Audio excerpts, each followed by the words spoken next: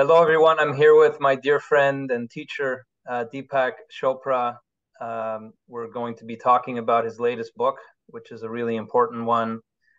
And uh, just pleased to have you with us, uh, Deepak. Thank you. Thank you for having me. My pleasure. My pleasure. Thank you. Um, so, Deepak, um, maybe we could break this down pretty simply for uh, for for our broader audience. Uh, please give us a, a little bit of background and context around what motivated you to write this book, Quantum Body? So in 1988, I wrote a book called Quantum Healing, and uh, it was based on my understanding of then, which was a very premature science then called epigenetics. The book was not well received by the academic uh, establishment, but it did become a bestseller, created a meme called quantum healing, etc., etc. Now, um, almost, uh, you'd say 25, no, 35 years later, we have science, we have neuroplasticity, we have epigenetics, and basically what uh, the new science is telling us is that uh, every experience we have, almost every experience, modulates genetic activity. Only 5% of disease is related to what are called fully penetrant genes. So if somebody has a BRCA gene, for example, for breast cancer, that predicts breast cancer, uh, irrespective. Doesn't matter what you do, that person is going to get breast cancer. Now, that's true of not only cancer, it's true of all diseases. Only 5% are due to fully penetrant genes. And for that now, there's new technology emerging. It's called CRISPR, gene editing, etc. But we forget that that'll apply only to 5%. The rest, 95%, is modifiable through lifestyle and choices we make every day, including sleep, emotions, relationships, social interactions, food, stress management, biological rhythms, uh, diet, etc. So, given the new science, I thought I'd revisit uh, and update uh, what I then intuited as quantum healing to show people that uh, the choices you make every day we eat, we breathe, we digest, we metabolize, we eliminate we have social interactions and we experience sensory and motor activity and the choices we make actually either turn the genes on for self-regulation or healing or they turn them on for disease or inflammation or depression or mental well uh, distress.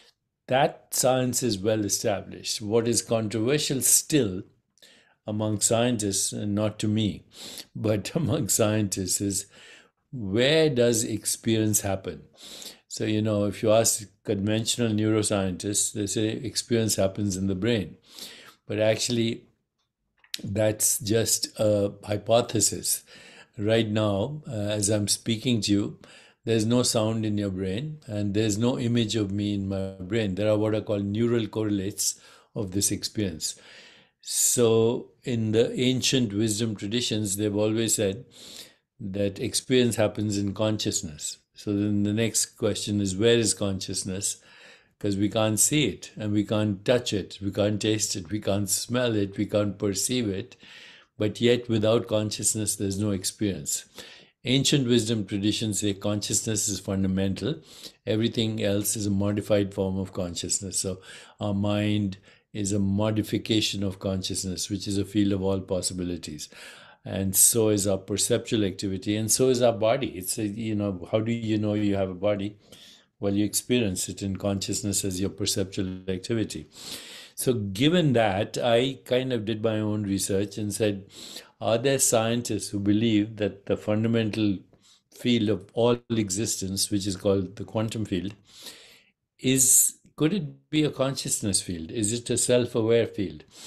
Now, that idea is very controversial. Most scientists will say, you know, you're, you're kind of uh, um, taking this too far, that the fundamental reality is just the quantum field. It has nothing to do with consciousness. On the other hand, if we can't explain mind through science, then the science is incomplete because after all, we use the mind to do science.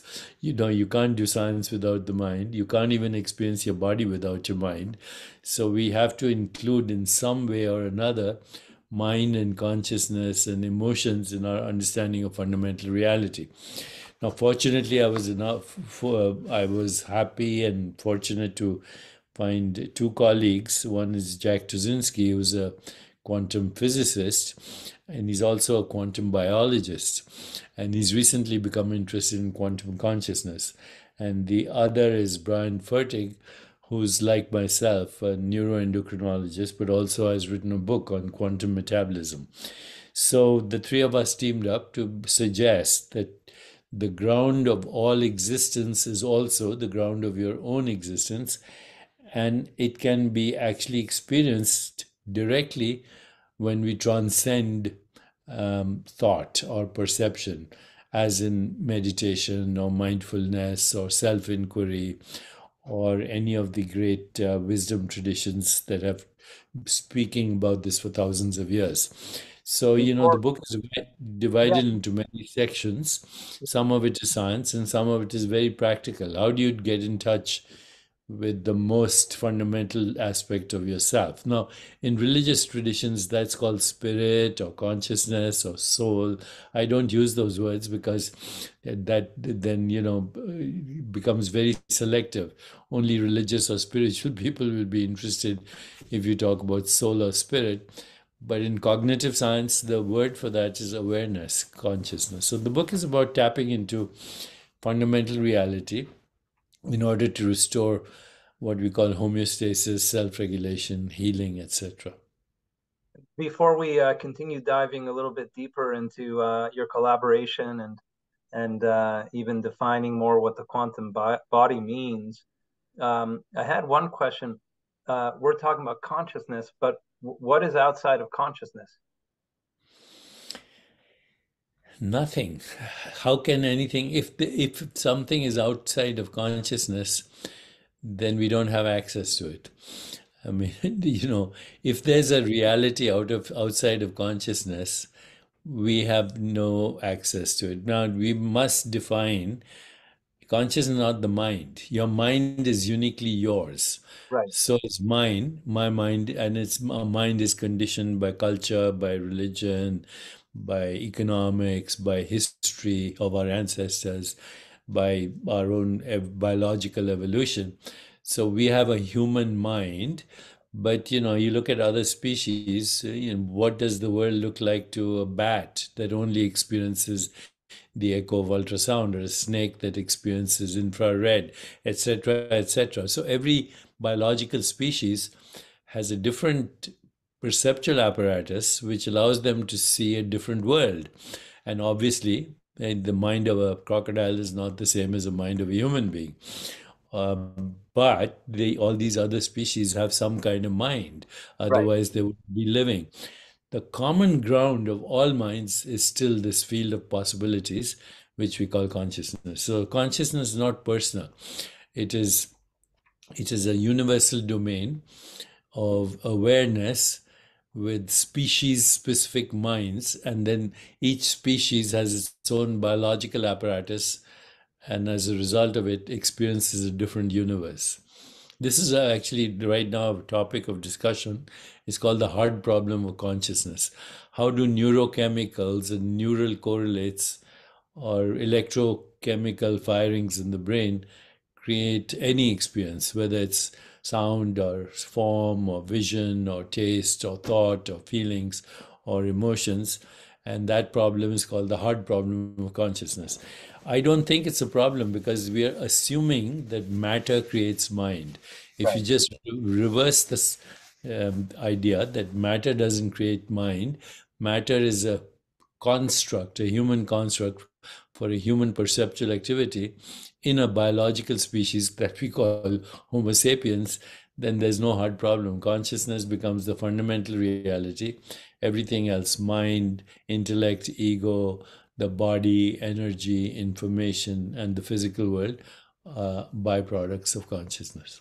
Understood. Um, for our audience, can you explain in the simplest terms possible um, what the quant what quantum body means? Okay, so the word quantum uh, is now over a hundred and what hundred and quantum revolution occurred around 1905 it was formalized the copenhagen interpretation was formalized 1935 and there were many people involved including schrodinger max planck paul dirac einstein niels bohr and the findings of quantum mechanics are very counterintuitive so let's go with basic definitions a quantum is defined as the most basic fundamental unit in which waves of information and energy are either absorbed or emitted. So, a quantum of light is called a photon, a quantum of electricity is called an electron. So, there are these particles that make up atoms and they behave in strange ways. They can appear as units of matter, for example, that uh, you know a particle can have units of matter and energy in which case it's a particle but unobserved it's a wave and uh, the wave has no location in space or time. So the margin between mind and matter gets blurred and also quantums uh, quantum phenomena until they are measured they exist in superposition which means all e- electrons exist along with every other particles before they are measured. Also, there are strange phenomena like tunneling, like um, like superposition, like entanglement. You can have two quantum systems separated millions of miles away from each other, and yet one's behavior affects the other's behavior. If you measure one quantum system, the spin and charge, you immediately know what the other is, even though there's no signal going.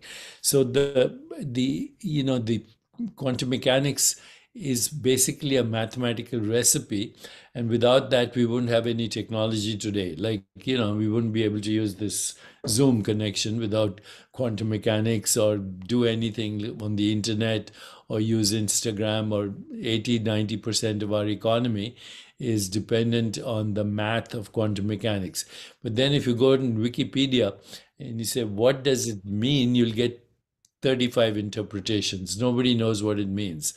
So the most popular interpretation is called the Copenhagen interpretation, which says until a conscious observer makes a measurement, particles don't exist. They come into existence only when measured. Before that, they are probabilities in uh, mathematical space. Now, that is very counterintuitive, but that's what it is. So, right now, there are two theories that are dominant in quantum mechanics. One is the old Copenhagen interpretation, which says consciousness is somehow involved in locating a particle or a space time event. There's another theory that's become very popular now. It's related to string theories and multiverses, which says that the wave function is actually a physical thing. It's not a mathematical object. It's a physical object, in which case there are infinite universes and infinite versions of you and me. So, you know, forget about all the interpretations. You can go into Wikipedia and sure. you'll realize that, you know, nobody knows exactly what it means. But the quantum body, as we are suggesting in the book, is actually the quantum field. So the quantum field surrounds us, it's in us, and it pervades all of space time. And it's timeless, it's eternal. In uh, many spiritual traditions, they say we have a physical body, which is matter and energy. We have something called a mental body, which is mind, intellect, and ego. And then we have a causal body, which in spiritual traditions they call the soul or spirit but that's not a fashionable word, soul or spirit in cognitive science. So we can call it awareness or consciousness. And what we are saying here is your quantum body is actually your spirit, which never ages and which is not in time. It recycles as space time, energy, information, and matter. Now, you know, a lot of people will disagree with that, but that's an emerging paradigm And you know, there's a science conference every year on quantum reality and Copenhagen, headed by Sir Roger Penrose, who won the Nobel Prize a couple of years ago, and Stuart Hameroff. So there are endless discussions on this, and this year I'm going to be doing a keynote on quantum body as well. I'm um, fascinated by some of your studies on longevity. Yes. Um, and aging, and I know it connects directly to the study of uh, quantum body. Um, so maybe you can elaborate a little bit more. You alluded to it uh, just before. How does our understanding of quantum body challenge our conventional views, let's say, on aging, disease, and overall health?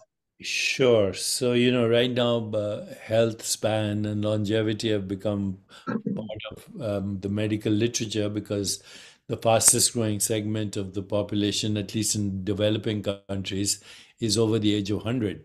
And people are also concerned that as we live longer, there'll be more Alzheimer's and there'll be, you know, end of life care, all of that. So uh, the study of longevity and a healthy aging has become very important. And there's lots of work on that, you know, right? Where if you sleep well, if you manage your stress, if you eat the right diet, etc., a diet that has maximum diversity of plant-based foods, and so on. And there are many, many, many, um, uh, you know, articles on what creates longevity, and it's right now. There's also a lot of interest in what we call signal molecules or adaptogens, which modulate the effects of stress on a cellular level.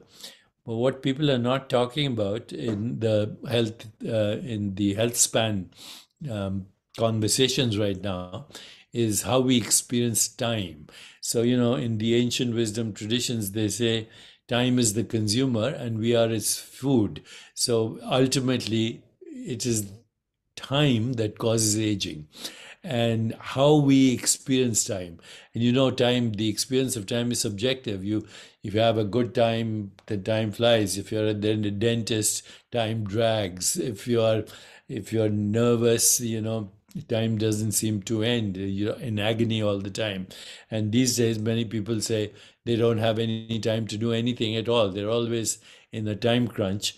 Now the way you experience time actually influences your biological clock. So if you are rushing all the time and you have what is called time sickness your blood pressure will go up your heart rate will speed up your body will get inflamed.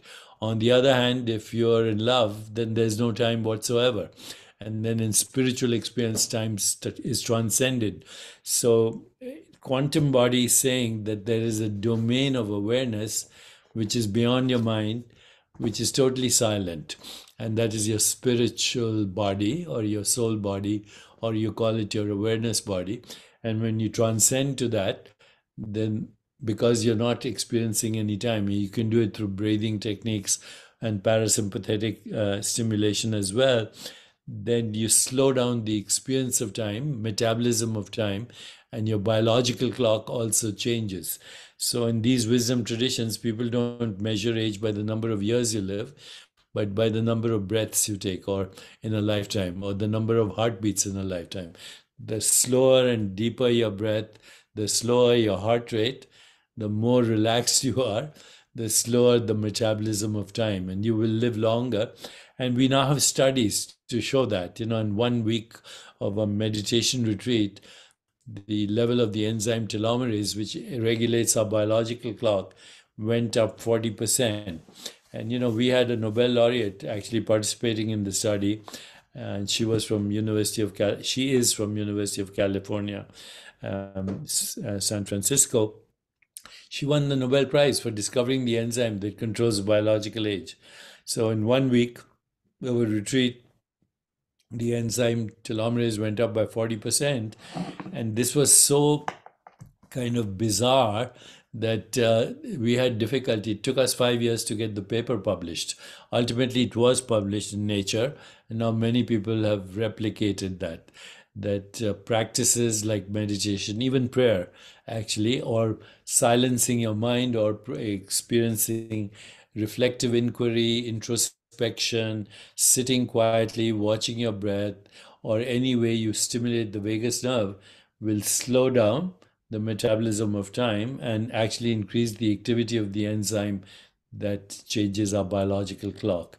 So it took us five years to get it published, but fin- finally it was published in a journal called Nature Translational Psychiatry, which is very prestigious. Nature is one of the most prestigious journals. And now those studies have been replicated by other people and are being replicated as well. But I have to say, this is a new science.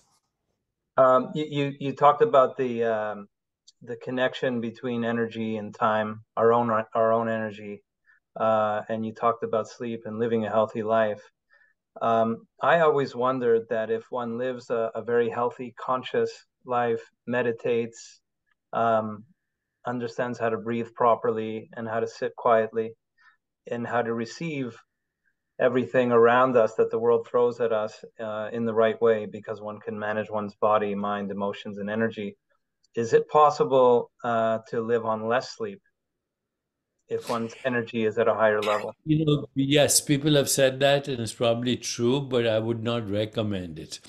You know, because sleep uh, actually is one of the best ways for you to return to your quantum body as well. And uh, the you know, in sleep there is no time, as you know. In deep sleep, there's no time. In dream time, of course, time is fuzzy.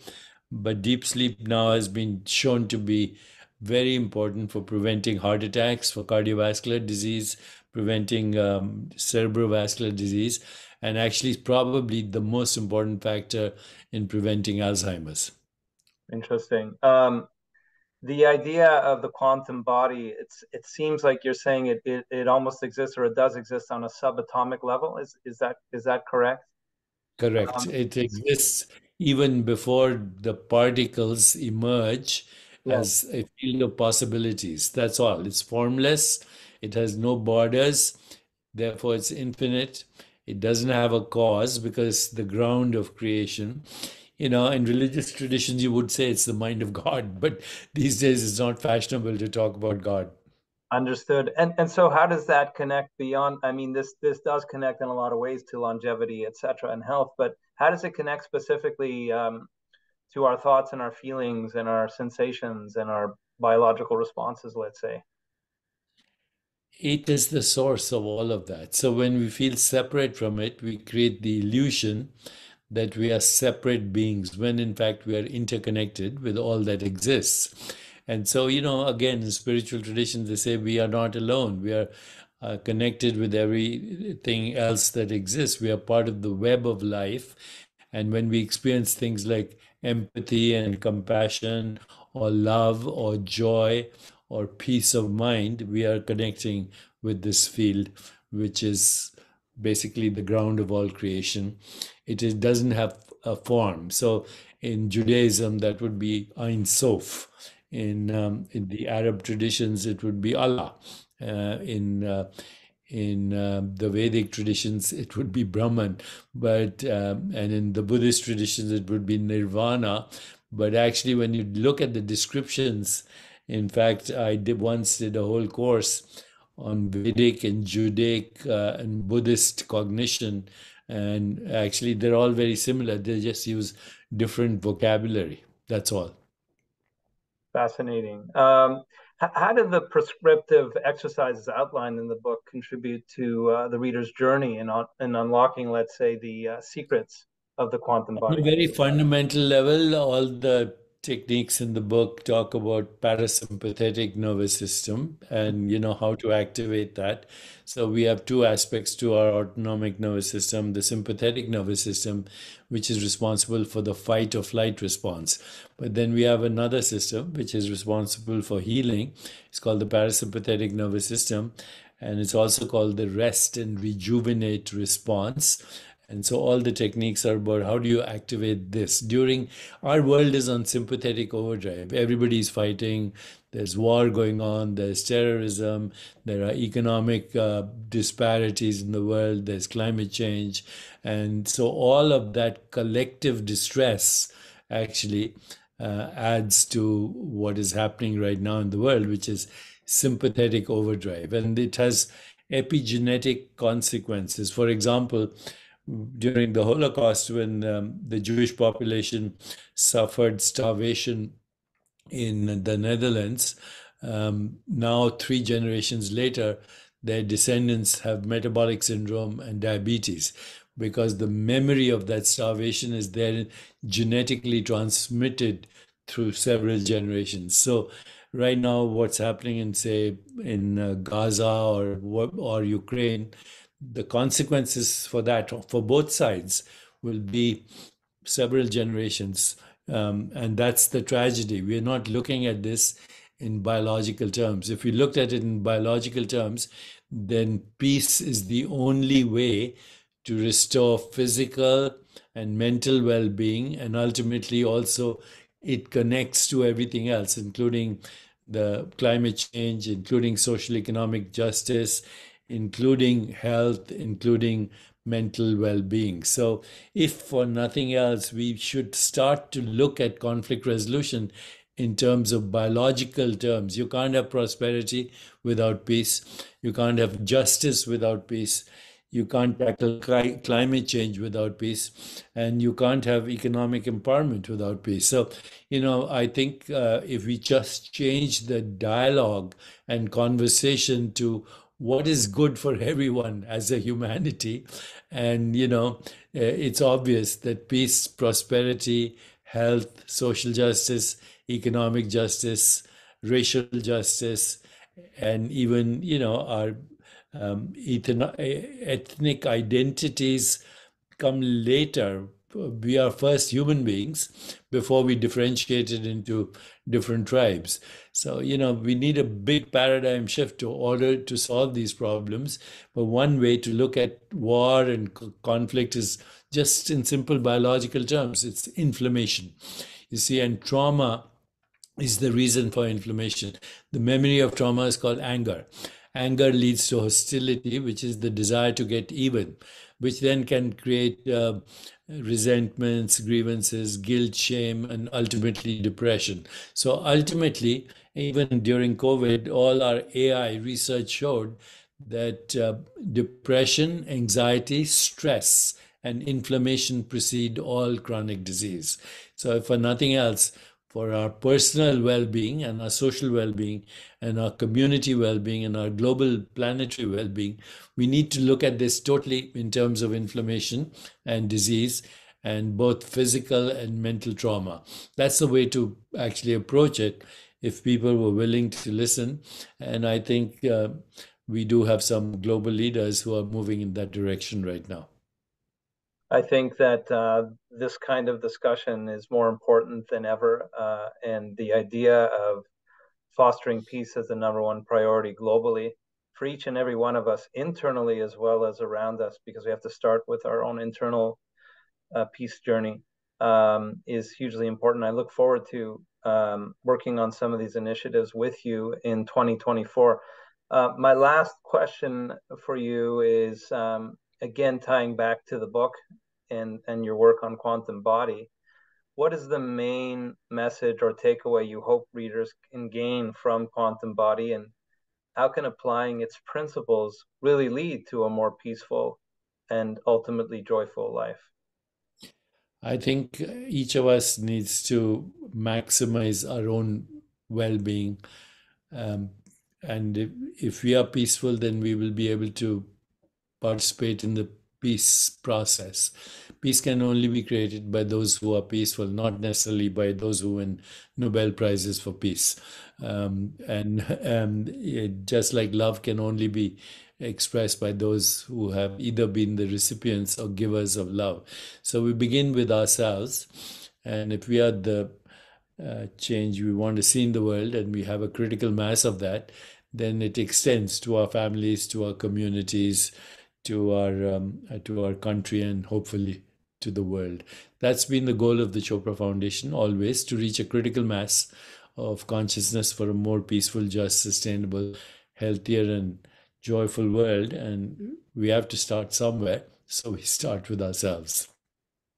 That's a great note to uh, to end the uh, the discussion. Um, I encourage everyone uh, watching to to pick up the book Quantum Body. It's it's a really important and transformational book and to uh, to check out and support the Chopra Foundation. Thank you so much, my friend. We'll uh, we'll speak again shortly. Thank you, Jay. Thank, Thank you.